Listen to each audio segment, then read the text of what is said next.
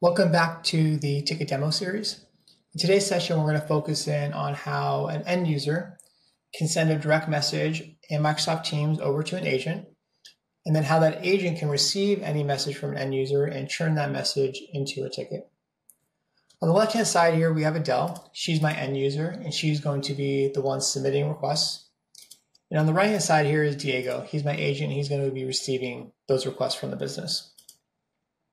Now, Adele's walked in this morning and her computer is running slow, so she's going to go find someone in IT and go ping them directly in Microsoft Teams.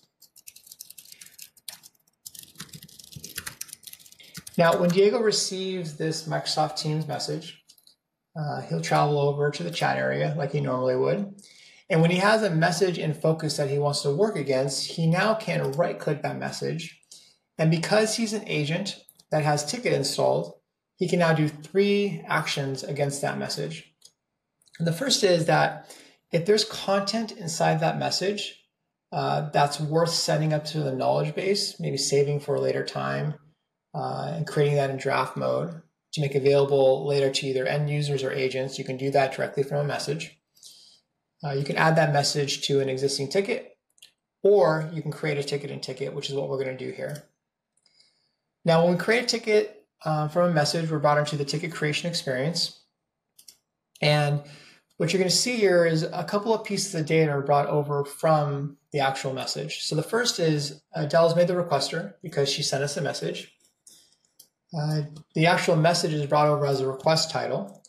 Uh, Diego can choose to append this. He doesn't have to, um, but if he feels like he needs to update it, he can. And then this is his opportunity to set any of the properties of the ticket here. Uh, so if we want to change the status, uh, he could.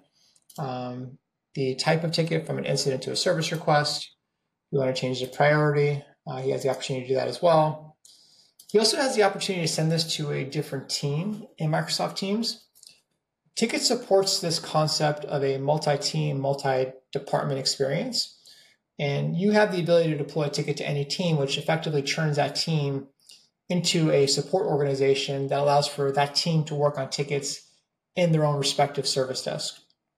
And if I were in HR, if I were in finance, I could pick off a message and send that to my respective team by reassigning this ticket to that team.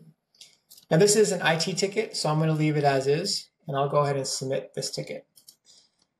Ticket 3319 was just created, and once created, what you're going to start to see on both sides of the screen our notifications are going to start to surface.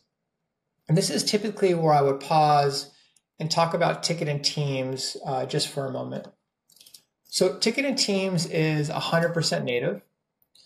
There are agent experiences as well as end user experiences. Now, on Diego's side, um, there are two places where Diego can work on that create a ticket. Um, he can first work in the Teams area. So when that ticket was created, we assigned it to the IT team and we assigned it to the service desk group. And what you're seeing here is we're associating that group to this channel. So ticket 3319 was created and assigned to the service desk group. And here is one place that Diego can work uh, on that ticket. Now, a second place that Diego can work on that ticket is inside of the Tikit app. Now, the Tikit app is a app for agents.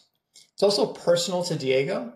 So this is a place where um, he will have the opportunity to receive updates for tickets that he's working on. He also can have a conversation with the Tikit app and receive tickets back to be able to work on them as well. Now, Adele has her own set of experiences. Adele's primarily going to work inside of Tikit Virtual Agent. Uh, this is the end user self service experience within Teams. Now, this is the place where she will receive updates for tickets that she's created. She'll also have the opportunity to create new tickets, access knowledge, submit uh, forms to kick off different business processes like software requests, new hire processes, things of that nature. Both these apps, the Tikit app and Tikit Virtual Agent, are apps that sit inside of Teams Admin Center. And you have the opportunity to push these out to your agents and end users for them to receive their different experiences across uh, Tikit and Teams here. Last thing I want to mention around these apps is that they 100% work across all the Teams experiences. So they work in Teams Web, They work in Teams New, uh, and they also work in Teams Mobile. So as you're receiving these notifications, you'll receive toast notifications like you would for direct messages. And no matter where you're at, you'll click on them. It'll take you to the particular ticket to action an update or an approval um, or things of that nature. This is where we're going to stop this part of the session. In further parts of the demo series, uh, we will focus in on how uh, we can have a conversation between the agent and the end user and resolve a ticket like this. Um, but if you do have any questions, please email team at tikit.ai.